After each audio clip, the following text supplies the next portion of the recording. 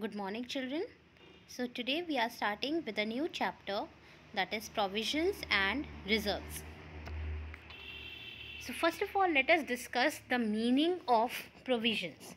So, according to the Companies Act, the term provision refers to any of the following amounts that is, the amount written off or retained by way of providing for depreciation, renewals, or diminution in value of assets, or the amount retained by way of providing for any known liability of which the amount cannot be determined with substantial accuracy.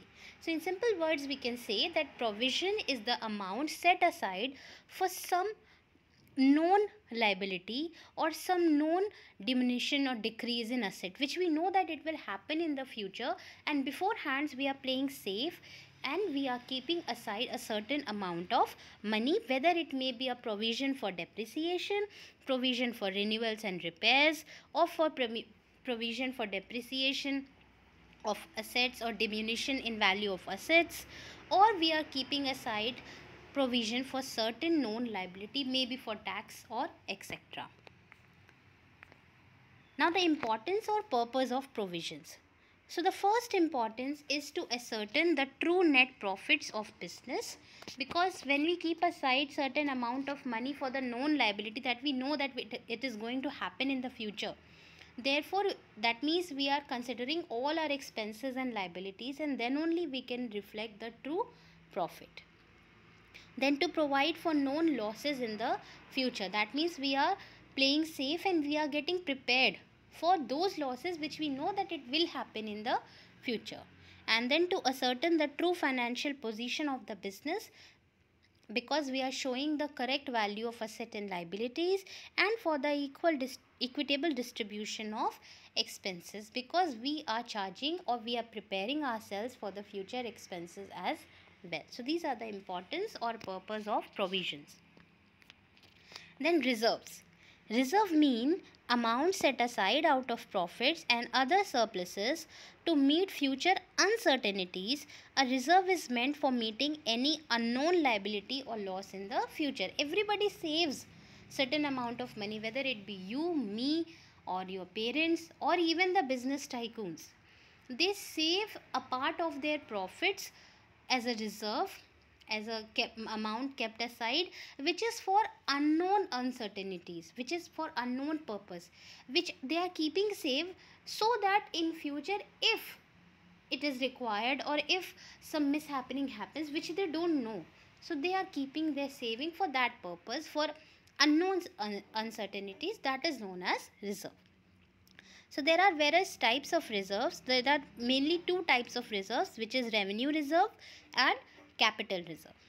So revenue reserve can further be divided into general reserve and specific reserve.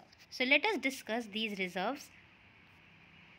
Revenue reserve. These reserves come into existence out of profits which have been earned in the course of day-to-day -day business operation. So revenue reserve means the reserve which is created out of revenue profit out of those income and profit which have been generated by continuing with the business day to day business activities.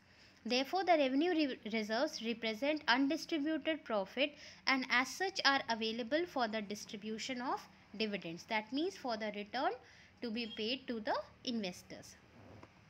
There are two types of revenue reserves. The first one is general reserve these are the reserves to which no specific purpose is allotted. Profits retained in the business to meet unforeseen future uncertainties are known as general reserve.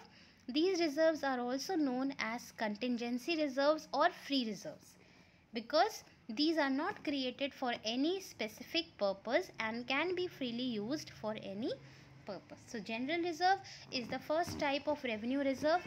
It is the amount kept aside for an unknown purpose and unknown uncertainty to which no purpose is attached and therefore it is also known as contingency reserve or free reserve. The another type of revenue reserve is the specific reserve. Such a reserve is created for a specific purpose and can be utilized only for that purpose. For example, dividend equalization reserve, reserve for replacement of asset, investment fluctuation fund, workman compensation fund or reserve, debenture redemption fund, etc.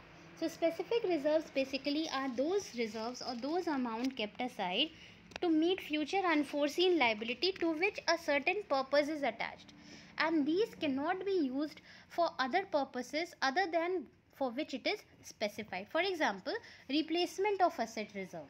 So if any amount is kept aside for replacement of asset that means it can be used only and only if any asset is to be replaced. It cannot be used for paying off dividend or any other purpose.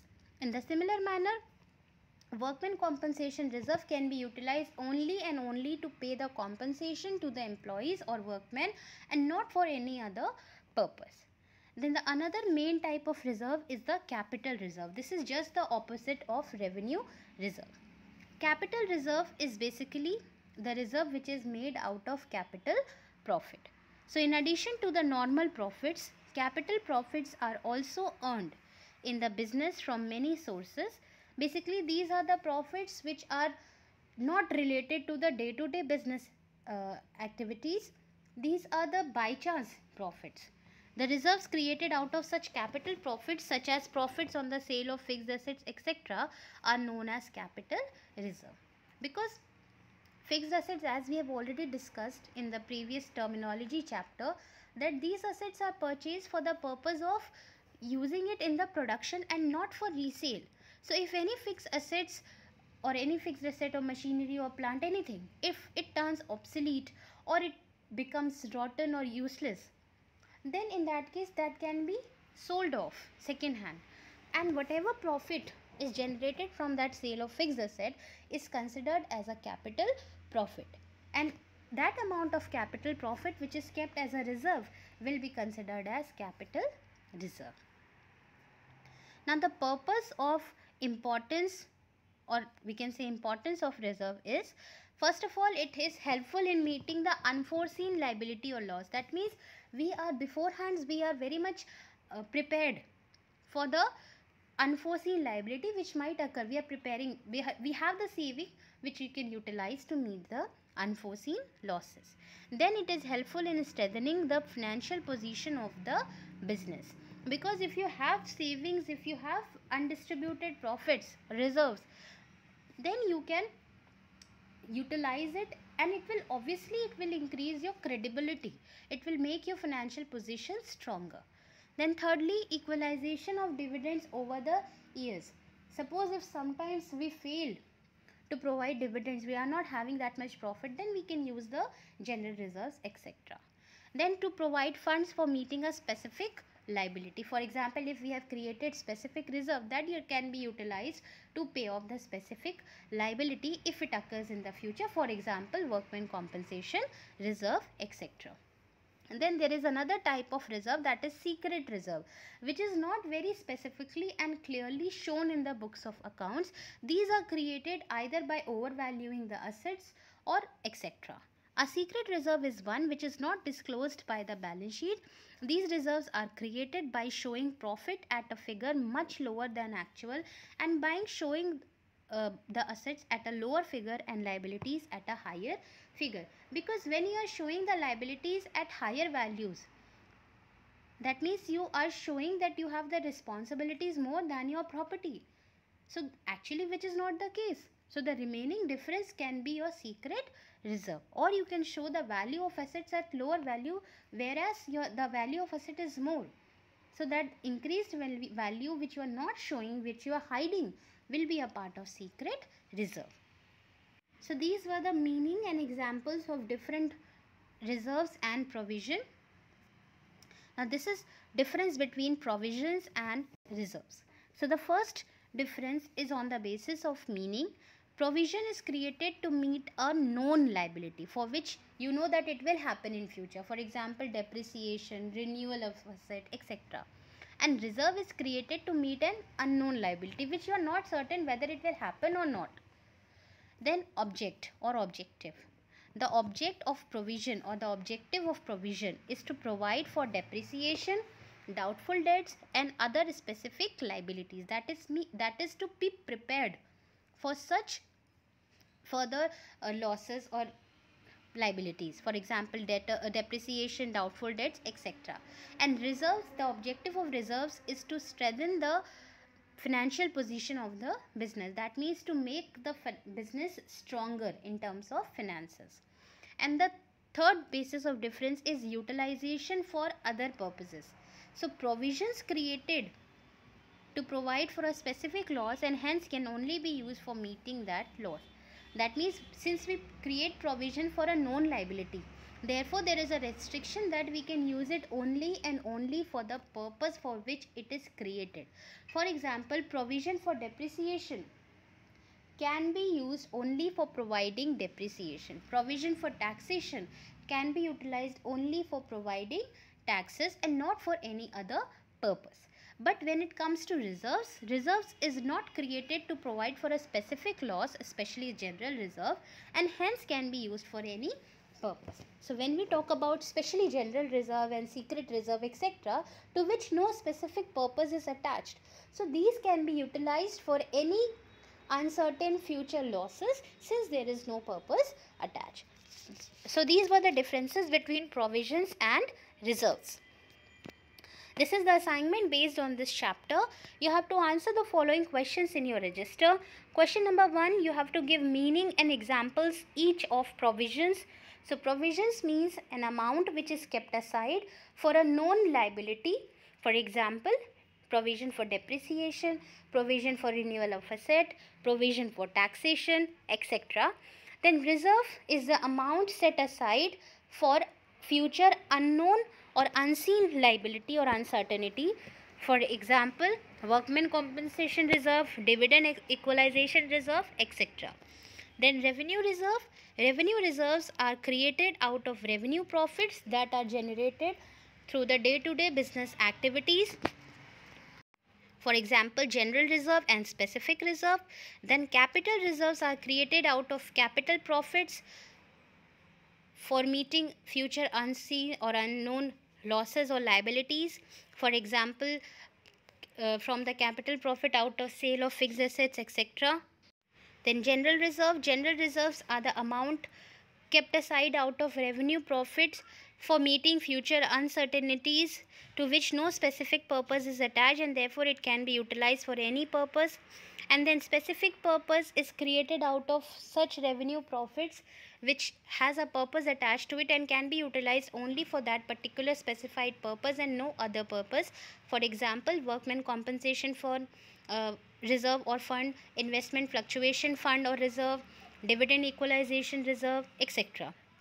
And then the secret reserve. Secret reserve is the res reserve created which is not specifically shown in the balance sheet.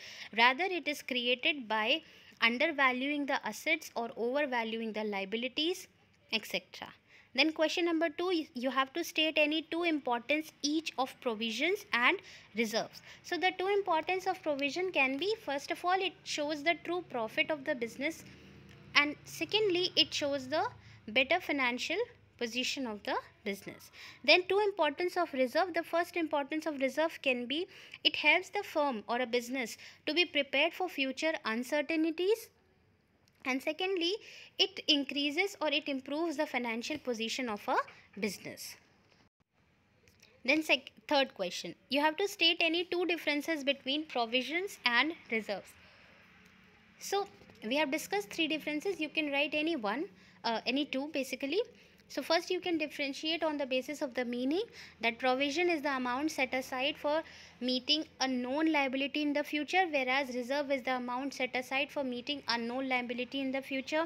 Then you can differentiate on the basis whether it can be used for any other purpose or not.